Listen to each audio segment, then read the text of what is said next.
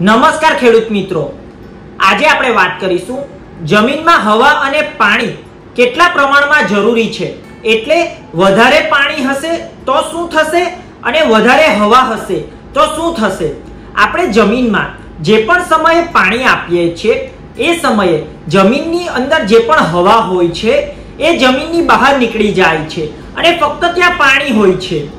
તો એક સિચ્યુએશનની અંદર, એટલે કે એ સમયે આપણો જે પણ પાક હોય છે, એ ખોરાક નથી બનાવી શકતો. એટલે કે આપણે જે પણ ખાતર આપ્યું હોય, એને એ ખોરાક નથી બનાવી શકતો. કારણ કે જમીનમાં પચાસ પચાસ ટકા, એટલે કે પચાસ ટકા હવા અને પચાસ ટકા પાણી હોય, તો જ એ ખોરાક બનાવી શકે છે. એટલે જો જમીનમાં પાણી નહીં હોય, તો સો એ સો ટકા હવા હોય છે. તો એ સમયે પણ એ ખોરાક એટલે કે જે પણ આપણે ખાતર નાખ્યું હોય છે, એને ખોરાક તરીકે ઉપયોગ નહીં કરી શકે.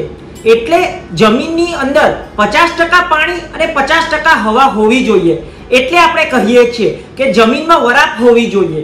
એટલે વરાપ હોવાનું ખરેખર કારણ આ છે કે પચાસ ટકા પાણી અને પચાસ ટકા હવા એ સમયે જમીનમાં હોય છે.